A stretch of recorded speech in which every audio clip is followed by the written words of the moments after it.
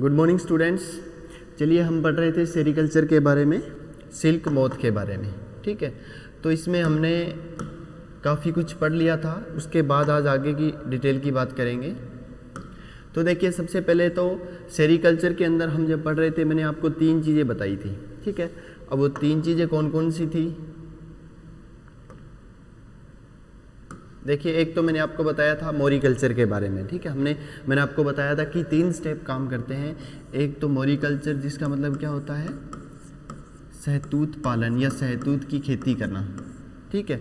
सहतूत की जो क्रॉप है, उसको लगाना, ताकि उसके ऊपर हम जो है सिल्क वर्म को रेयर कर सकें। उसके बाद सेकंड है insect rearing and cocoon production, यानी कि सहतूत जब पालन हो जाता है, सहतूत को हम लगा लेते हैं ट्री को, उसके बाद उसके ऊपर रेयर करना सिल्क मोथ को, ठीक है, रेशम कीट को, वो और उसके बाद फिर थ्रेडिंग या रीलिंग उसको अलग करना, ठीक है।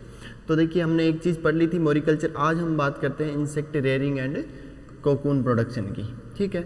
तो इसके अंदर देखिए, सबसे पहले तो हम जनरल बात कर लेते हैं। तो सिल्क वर्म के जो एग्स होते हैं, है ना, जो एग्स होते हैं, उनको क्या बोलते हैं?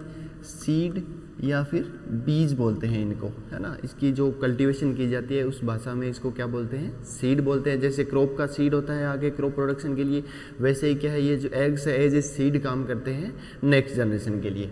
फिर देखिए, इसकी जो जनरेशन्स होती है, जो पीढ़ियाँ होती है, इसकी, उसको क्या बोलते हैं? क्रॉप्स या फ़सल। जैसे कि एक साल में एक फ़सल ले रहे हैं, दो फ़सल ले रहे हैं तो उसका मतलब क्या है कि एक साल में इसकी एक जनरेशन कंप्लीट हो रही है या फिर दो जनरेशन कंप्लीट हो रही है, या फिर उससे भी ज़्यादा, ठीक है? तो सबसे पहली चीज़ तो क्या है, देखिए, कि इसका सीड जो हम लेते हैं, यानी कि इसकी क्रॉप करने के लिए जो सीड हम लेते हैं, वो सीड क्या करना चाहिए? किसी प्रमाणित, है ना? किसी प्रमाणित, या बात करें सर्टिफाइड जो संस्था होती है, उसी से इसका सीड जो है वो लेना चाहिए, ठीक है? इसको क्या बोलते हैं? जो सेंटर होते हैं, जहाँ से ये सर्टिफाइड सीड हम प्राप्त कर सकते हैं, उनको बोलते हैं ग्रेनेज उनको क्या बोलते हैं? ग्रेनेज बोलते हैं। देखिए, सबसे पहले क्या करेंगे? सीड कलेक्ट करने के बाद हम क्या करेंगे? इनको जो रेयरिंग ट्रे होती है, इनको क्या बोलते हैं? रेयरिंग ट्रे यानी कि पालने के लिए जो ट्रे काम में ली जाती है, उस ट्रे के अंदर हम क्या करते हैं?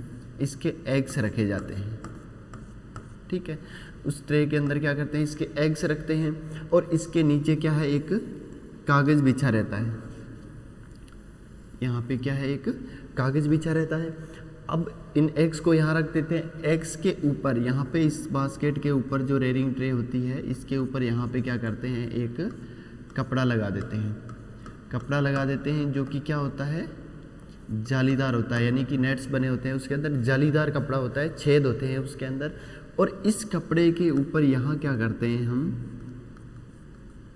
यहाँ पे टुकड़े डाल देते हैं किसके? लीफ के। ठीक है? लीफ जो होती है सहतूत की, जो मलबरी प्लांट की जो लीफ होती है, उसके टुकड़े यहाँ पे डाल देंगे। इससे क्या होगा कि यहाँ से जब ये निकलेगी कैटरपिलर्स इसकी जो सुंडी निकलेगी, वो क्या है? इस छेद से जो यहाँ पे छेद बने हुए वहाँ से बाहर आ जाएगी और इन लीव्स के ऊपर फ़ीड करेगी। ठीक है? अब क्या करेंगे? हम इनको यहाँ से कलेक्ट कर लेते हैं। कलेक्ट करने के बाद इनको हम क्या है? दूसरी जो ट्रे होती है, उसके अंदर इसको ट्रांसफ़र कर देते हैं। ठीक है? दूसरी ट्रे के अंदर इसको ट्रांसफ़र कर देते हैं। अब देखिए फ़र्स्ट और सेकंड फ़र्स्ट और सेकंड इंस्टार के जो कैटरपिलर है या लार्वा है, उनको क्या है?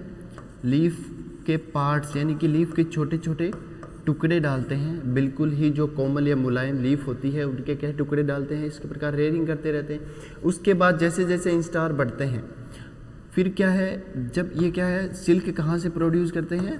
माउथ ग्लैंड से, यानी कि जो सेलाइवरी ग्लैंड्स होती है, लार ग्रंथियाँ वहाँ से तो माउथ ग्लैंड से जब ये सिल्क प्रोडक्शन स्टार्ट कर दे, जब ये सिल्क प्रोडक्शन स्टार्ट कर दे, उस समय हम क्या करते हैं, इनको एक अलग बास्केट या टोकरी के अंदर रखते हैं, जिसको क्या बोलते हैं? कोकुनेज। कोकुनेज बोलते हैं। इस कोकुनेज के अंदर इसको जो है, ट्रांसफ़र कर दिया जाता है। फिर ये क्या करता है? लार्वा जो होता है, अपने चारों तरफ़ इस प्रकार क्या है, ये सिल्क का कोकून बनाना स्टार्ट कर देता है इस प्रकार। तो ये सिल्क का कोकून जो है, वो बनता रहता है। अब क्या होगा देखिए, कोकून बनने के बाद ये ध्यान रखना चाहिए हमें कोकून बनते समय कि ये आपस में मिक्स ना हो। कहने का मतलब बहुत ज़्यादा जो है, एक साथ ये कोकून्स नहीं होने चाहिए, क्योंकि अगर ऐसा होगा तो इस कंडीशन में क्या है, इनके जो धागे हैं, वो आपस में क्या होते हैं, उलझ जाते हैं। उलझ जाते हैं, इनको क्या बोलते हैं ड्यूपिन्स बोलते हैं। ड्यूपिन्स बोलते हैं। तो ये क्या है? धागे जो है आपस में उलझ जाते हैं, फिर क्या होता है? ये क्वालिटी जो होती है इनकी वो ख़राब हो जाती है, इसलिए क्या है? इनको बहुत ज़्यादा एक साथ नहीं रखना चाहिए, ठीक है? फिर ये हो जाएगा, इसके बाद फिर क्या करते हैं? इनको आगे की जो प्रोसेस है, जैसे इसकी हार्वेस्टिंग वगैरह है, वो की जाती है, इसको कैसे अलग करते हैं, उसकी बात करेंगे, ठीक है? तो ये जनरल है कि इसकी रेयरिंग कैसे करते हैं और कैसे कोकून का प्रोडक्शन होता है, ठीक है? फिर देखिए नेक्स्ट बात करते हैं इसके हार्वेस्टिंग की एंड स्टिफिंग की। तो सबसे पहले तो देखिए हार्वेस्टिंग किसको बोलते हैं? हार्वेस्टिंग बोलते हैं अभी जो हमने बात की कोकुनेज की। कोकुनेज की हमने जो बात की तो इसके अंदर जो कोकुन्स पड़े हुए हैं, ये कोकुनेज जो है अभी हमने बात की, इसके अंदर जो ये कोकुन्स पड़े हुए हैं, इनको अलग करना, इनको अलग करना या सेपरेट करना क्या कहलाता है? हार्वेस्टिंग कहलाता है। ये क्या होगी इसकी हार्वेस्टिंग यानी कि कोकोनेज के अंदर जो कोकून्स पड़े हुए हैं, उनको उस बास्केट से निकाल के अलग करना आगे की प्रोसेस के लिए रीलिंग के लिए वो क्या कहलाता है? हार्वेस्टिंग कहलाता है। अब देखिए स्टिफिंग क्या होता है? सेकेंड टर्म जो है स्टिफिंग देखिए क्या होता है कि ये जो कोकून तैयार कोकून है, ठीक है?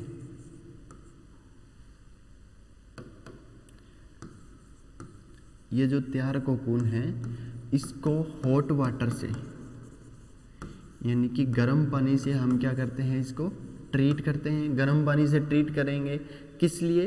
ताकि इसके अंदर का जो लार्वा है, लार्वा जो होता है उसको किल कर सके, मार सकें, ठीक है? तो इस कोकून के अंदर को, के लार्वा को मारने के लिए हम क्या करते हैं? हॉट वाटर यानी कि गर्म पानी के साथ उसको उबालते हैं। इससे क्या होगा? इसके अंदर का जो लार्वा है वो मर जाएगा। इस प्रोसेस को क्या बोलते हैं हम? स्टिफलिंग इस प्रोसेस को क्या बोलते हैं? स्टिफलिंग ठीक है? यानी कि कोकून को गर्म पानी के साथ उबाल के उसके अंदर के लार्वा को मारना क्या कहलाता है? स्टिफलिंग कहलाता है। ये क्यों किया जाता है? ताकि इसका जो एडल्ट है, इसके अंदर जो कोकून के बाद कौन सी स्टेज आती है? एडल्ट स्टेज आती है। अगर इसकी एडल्ट स्टेज बाहर आ गई कोकून से तो इसका मतलब क्या है? मान लीजिए ये कोकून है। ठीक है? ये कोकून है। इसके अंदर ये इसका एडल्ट है, बन रहा है अभी, ठीक है? अगर ये हम टाइम पे इसको अलग नहीं करेंगे तो ये कोकून ये क्या करेगा? यहाँ से इसको काट के, ठीक है? यहाँ से क्या करेगा? ये इसको काट के और बाहर निकल जाएगा। तो अब क्या होगा? यहाँ से ये थ्रेड्स टूट तो गए। इस जगह से क्या होगा? ये थ्रेड सारे टूट तो गए ना। तो ब्रेक होने के बाद इसकी जो क्वालिटी है, वो क्या हो जाती है? क्वालिटी डिक्रीज हो जाती है। यानी कि क्वालिटी जो है, वो इसकी गिर जाएगी। अब क्वालिटी गिर जाएगी तो ये रेसा हमारे किसी काम का नहीं रहेगा। इसलिए क्या करते हैं, इसको एडल्ट बनने से पहले ही हम क्या करते हैं, गर्म पानी में उबाल के मार देते हैं और इस प्रोसेस को क्या बोलते हैं स्टिफलिंग बोलते हैं। इसके बाद देखिए नेक्स्ट क्या करते हैं फिर? रीलिंग जो होती है, यानी कि अगर बात करें रीलिंग मान लो या फिर धागा अलग करना, ठीक है? यानी कि ये जो कोकुन्स बन गए, इनके ऊपर जो रेशम का धागा है, उसको अलग करना क्या कहलाता है? रीलिंग। अब देखिए क्या करेंगे, इसके बाद ये कोकून है तो चार से पाँच जो कोकून्स होते हैं, ठीक है? इनको एक साथ करके हम क्या करते हैं, इसका जो बाहर वाला सिरा होता है, क्योंकि एक ना एक सिरा तो होगा, जहाँ पे ख़त्म हुआ है वो रेशम का धागा बनना या स्टार्ट हुआ है तो वो बाहर वाला जो सिरा होता है, ठीक है? जो सिरा होता है किसका? रेशम के धागे का। उस सिरों के पकड़ के चार और पाँच कोकुन को एक साथ, ठीक है? सिरे को पकड़ के हम क्या करते हैं? इनको एक साथ जोड़ लेते हैं। जोड़ने के बाद एक लकड़ी का टुकड़ा होता है, जिसके बीच क्या है? इस प्रकार से एक छेद होता है, ठीक है? हम क्या करते हैं? इन चार से पाँच सिरों को एक साथ मिक्स करके फिर इनको यहाँ से क्या है? इसके थ्रू जैसे मान लीजिए चार या पाँच जो है, इस प्रकार धागे होंगे तो इनको इसके थ्रू क्या है? यहाँ से एक साथ निकालते हैं। फिर दूसरी किसी लकड़ी पे क्या होता है? यहाँ पे, देखिए, दूसरी किसी लकड़ी पे क्या होगा? यहाँ पे एक इस प्रकार से क्या होती है? रील लगी रहती है। चक्री सी लगी रहती है रील। अब इसके ऊपर क्या करते हैं? हम इसको जो है, लपेट लेते हैं इसके ऊपर। ठीक है, इसके ऊपर इस प्रकार क्या है? इसको कलेक्ट कर लेते हैं, इस प्रकार कलेक्ट करते रहते हैं। बाद में क्या करते हैं?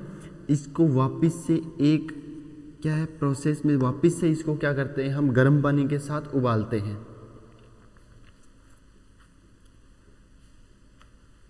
ठीक है, वापस से इसको क्या गर्म पानी में उबालेंगे? इससे क्या होगा? इसके अंदर जो भी अशुद्धि है, वो ख़त्म हो जाएगी। ठीक है? प्लस क्या है?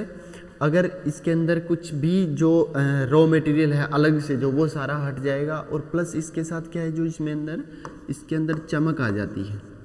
इस धागे के अंदर क्या है और चमक आ जाएगी। फिर इसको क्या है? वापस हम क्या करते हैं?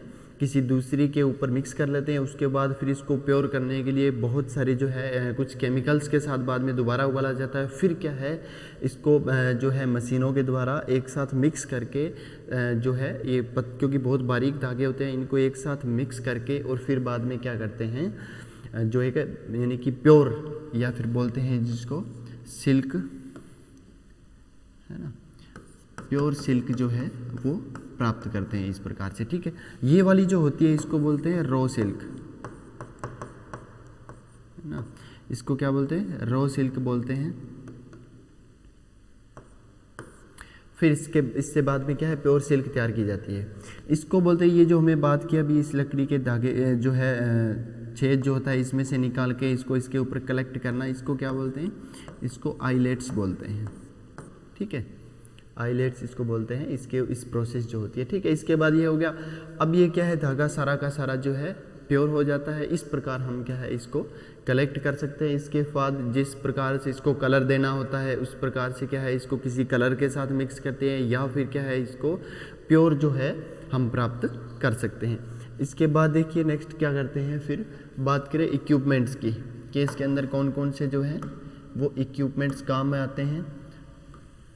ठीक है। कौन कौन से जो है इक्विपमेंट्स हम काम में लेते हैं इसके अंदर? तो सबसे पहले तो देखिए स्टैंड ये स्टैंड जो होता है, ये क्या है? वुड का, यानी कि लकड़ी का होता है, या फिर जो बाँस की खपचियाँ होती है, उनका बना होता है। ये स्टैंड क्या काम आता है? इस स्टैंड के ऊपर क्या करते हैं? हम रेयरिंग ट्रे रखते हैं। जिस ट्रे की बात कर रहे थे ना, जिसके अंदर इसके एग्स रखे जाते हैं, या फिर कोकोनेज जो रखा जाता है ना? तो इस स्टैंड को क्या है? ये बाँस का या लकड़ी का बना होता है। इसके ऊपर क्या है? ये ट्रेज रखी जाती है। कौन सी? रेयरिंग ट्रेज जिनके अंदर इसको पाला जाता है। ठीक है? तो रेयरिंग ट्रेज रखी जाती है। अब इसको क्या करते हैं? मान लीजिए ये ट्रे रखी हुई है। इसके नीचे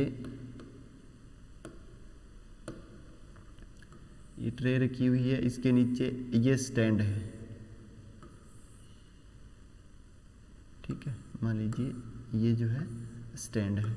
तो ये ध्यान रखा जाता है कि इस स्टैंड के नीचे वाला जो हिस्सा होता है, इन चारों को हम क्या करते हैं, पानी के अंदर, ठीक है, पानी की कटोरी भर के उसके अंदर रख देते हैं, ताकि क्या होगा कि इसके ऊपर क्या है, दीमक वगैरह, या फिर बात करें, चिंटी वगैरह जो है, वो ना लगे। इसके लिए क्या है, इसको पानी के अंदर भर के रखते हैं फिर देखिए नेट्स जो हमने बात की थी अभी, है ना? जो रेडिंग ट्रे के ऊपर रखा जाता है, जिसके थ्रू जो है वो बाहर आती है, इसके लार्वा वगैरह होते हैं, वो, इसके अलावा नाइफ चाकू, ये चाकू क्या काम आता है? ये चाकू काम आता है लीफ कटिंग के लिए, क्योंकि लीफ को हम काट के इनको प्रोवाइड करवाते हैं ना तो लीफ को कटिंग करने के लिए चाकू काम में आता है। फिर है हाइग्रोमीटर ये क्या काम आता है? आर्द्रता मापने के लिए कि लीफ के अंदर कितनी आर्द्रता होनी चाहिए, कितनी नमी होनी चाहिए। अगर नमी ज़्यादा है, फिर भी क्या होगा? फिर जो है, वो रेशा जो बनेगा, वो उच्चतम क्वालिटी का नहीं बनेगा। प्लस जो है इंसेक्ट का लाइफ साइकिल जो है, वो भी इससे प्रभावित होता है। ठीक है, आर्द्रता होगी। इसके बाद है हीटर एंड कूलर यानी कि टेम्परेचर को अगर ज़्यादा करना हो या कम करना हो, है ना? तो टेम्परेचर को मेंटेन करने के लिए इनकी भी आवश्यकता होती है हीटर एंड कूलर की। और कोकुनेज मैंने आपको बता ही दिया जिसके अंदर रख के कोकून्स को प्रोडक्शन किया जाता है और थर्मोमीटर। ठीक है तो ये सारे क्या है इक्विपमेंट्स हैं जो यूज़ में लिए जाते हैं जब हम इनकी रेयरिंग करते हैं। देखिए रेयरिंग मैंने आपको पहले भी बताया था, दो प्रकार की होती है। एक तो होती है आउटडोर एक होती है इंडोर आउटडोर और इंडोर तो आउटडोर का मतलब तो क्या हो गया? कि नेचुरल कंडीशन में उनको पाला जाता है। नेचुरल कंडीशन का मतलब प्लांट के ऊपर ही उनको रेयर किया जाता है। इंडोर का मतलब क्या हो गया? यानी कि इनको घरों के अंदर या फिर बात करें किसी विशेष स्थान पर, ठीक है, इनको रख के पाला जाता है, ठीक है। तो इस प्रकार क्या है? इस कंडीशन में ये सारे इक्विपमेंट्स जो है इनकी आवश्यकता पड़ती है। जहाँ पे रख कर इनको पाला जाता है, वहाँ पे क्या है? इन सारी चीज़ की आवश्यकता पड़ती है, ठीक है। ग्रेनेज जिनको बोलते हैं, वहाँ पे इनकी आवश्यकता पड़ती है। तो ये हो गए इक्विपमेंट्स अब देखिए रेयरिंग ऑफ़ सिल्क वर्म वो तो थी इसकी, चलो प्रोसेस की बात, ठीक है? अब बात करते हैं सिल्क वर्म की रेयरिंग की। ठीक है कि इसकी, इसको कैसे रेयर किया जाता है, या कैसे पाला जाता है? तो इसके अंदर कुछ स्टेप है। फ़र्स्ट तो है, देखिए selection of race selection of race अब यहाँ रेस से मतलब क्या है? देखिए, मैंने आपको पहले भी बताया था दो तीन चीज़ें। एक तो मल्टी वोल्टाइन कुछ चीज़ होती है, एक होती है यूनिवोल्टाइन है ना? इस प्रकार से बाई वोल्टाइन तो इसकी जो जितनी जनरेशन पाई जाती है एक साल के अंदर, ठीक है? वन ईयर एक साल के अंदर इसकी जितनी जनरेशन पाई जाती है, उसको क्या बोलते हैं? उसको बोलते हैं वोल्टाइन।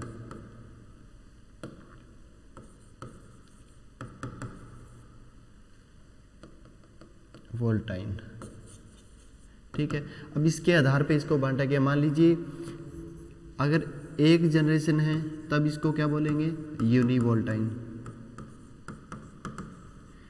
अगर दो जनरेशन है तो इसको क्या बोलते हैं? बाई वोल्टाइन अगर मैनी है, बहुत ज़्यादा है, तब इसको क्या बोलते हैं? मल्टी वोल्टाइन ठीक है तो ये जनरेशन के आधार पे है। मल्टी वोल्टाइन जो है, ये सबसे ज़्यादा रेयर की जाती है। इंडिया की बात करें, तब भी और अदर कंट्रीज़ जो है, तब भी। इसमें क्या होता है, लगभग चार से पाँच जनरेशन जो है, वो पाई जाती है एक साल के अंदर। लेकिन इसमें कमी क्या है कि इसकी जो क्वालिटी होती है। इस रेसे की जो क्वालिटी होती है, वो बहुत ही क्या होती है? कम होती है। तो इसलिए क्या करते हैं हम इस क्वालिटी को मेंटेन करने के लिए, क्योंकि इसकी क्वालिटी जो है, एक तो रेशा जो प्राप्त होगा, वो क्या होगा? टुकड़ों में प्राप्त होता है छोटा छोटा प्लस क्या है? इसकी क्वालिटी कम होती है। तो इसको क्या है? बाई वोल्टाइन जो रेस होती है, इसका रेशा अच्छा होता है। तो इसको इसके साथ मिक्स करके क्या बनाया जाता है? हाइब्रिड्स बनाए जाते हैं। हाइब्रिड्स बनाए जाते हैं। इन हाइब्रिड्स को यूज़ लेते हैं। आजकल बहुत ज़्यादा यूज़ होने लग गया इनका। तो ये जो हाइब्रिड्स होते हैं, इनसे क्या है? उत्तम क्वालिटी का रेशा बनता है। प्लस क्या है? इसके अंदर टुकड़े जो है, वो नहीं होते या बहुत कम होते हैं, इसलिए क्या है? इसको यूज़ लिया जाता है। तो सबसे पहली तो ये हो गया कि सिलेक्शन ऑफ़ रेस फिर सेकंड है रेशम कीट का पालन। ठीक है? रेयरिंग जिसकी बात हम ऑलरेडी कर चुके हैं। है ना? रेडिंग में क्या होता है? वही इनको एग्स जो है किसी प्रमाणित संस्था से लेके फिर उनको जो है ग्रेनेज जहाँ पे इसको पाला जाता है, वहाँ पे रेयरिंग ट्रे के अंदर रखा जाता है। फिर जब कोकून बनने वाले होते हैं, तब इनको ट्रांसफ़र करते हैं कोकूनेज के अंदर। उससे पहले इसको लीफ वगैरह फ़ीड करवाते हैं और जब कोकूनेज में कोकून बन रहे होते हैं, तब इसके स्पेस वगैरह का पूरा ध्यान रखते हैं और उसके बाद इसको जो है रीलिंग की प्रोसेस जो है, वो की जाती है। ये हो गया इसके बाद थर्ड जो है ग्रेनेज जिसकी हमने बात की थी, यानी कि वो स्थान जहाँ पे रख के सिल्क वर्म का पालन किया जाता है, वो क्या कहलाता है? ग्रेनेज। जैसे एपियरी था ना, जहाँ पे मधुमक्खी और के पाला जाता है, वैसे ही क्या ग्रेनेज जो है वो स्थान जहाँ पे रख के सिल्क वर्म का प्रोडक्शन किया जाता है, वो क्या कहलाता है? ग्रेनेज। तो इसके अंदर क्या है? ध्यान रखना चाहिए कि एक तो ये क्या है किसी खुले स्थान में होना चाहिए। खुले स्थान का मतलब ओपन इन्वायरमेंट में भी नहीं होना चाहिए। कहने का मतलब जहाँ पे क्या है? डायरेक्ट जो है एयर और लाइट की पासिंग हो।